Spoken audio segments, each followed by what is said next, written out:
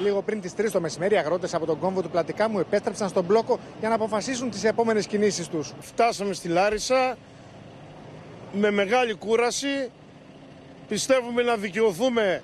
Κουρασμένοι αλλά αισιόδοξοι ότι θα δικαιωθούν, εμφανίζονται οι Θεσσαλοί αγρότε που επέστρεψαν στα μπλόκα τους 2-24 ώρα μετά το ογκώδε παραγροτικό συλλαλητήριο στην πλατεία Συντάγματος. Είδαμε από τη λεωφόρο Αθηνών μέχρι, μέχρι και το Σύνταγμα όλο τον κόσμο να χειροκροτεί. Δεν ακούσαμε ούτε έναν να μας κατηγορεί.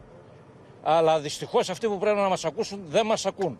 Σε σύσκεψη που άρχισε αμέσως μετά την αφήξή τους στον Πλατήκαμπο, οι αγρότες αποφάσισαν συνέχιση των κινητοποιήσεών τους μέχρι τη Σύνοδο των Υπουργών Γεωργίας της Ευρωπαϊκής Ένωσης στι Βρυξέλλες για την αναθεώρηση της νέας κοινής αγροτικής πολιτικής στις 26 Φεβρουαρίου. Θα δούμε και τη δυνατότητα της ε, συντονισμού με τα υπόλοιπα μπλόκα να κάνουμε κάποιες δράσεις οι οποίες θα αναδείχνουν την αποφασιστικότητά μας για λύσεις και με ενίσχυση όμως των μπλόκων. Κινητοποίησει μέχρι την ερχόμενη Δευτέρα έχουν αποφασίσει και οι αγρότες από τον μπλόκο στο τελωνίο των Ευζώνων.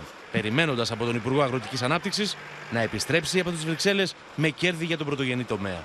να τον δώσουμε ένα χαρτί να έχει στο μανίκι ότι ακόμα οι αγρότες είναι στους δρόμους στην Ελλάδα.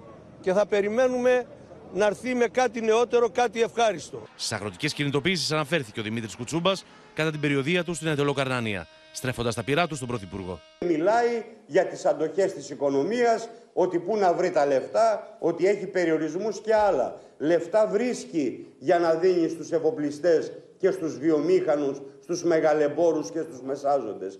Την ίδια ώρα οι αγρότες του Εύρου προετοιμάζουν μηχανοκίνητη πορεία στο κέντρο της Αλεξανδρούπολης την ερχόμενη Τετάρτη με τη συμμετοχή των τοπικών φορέων.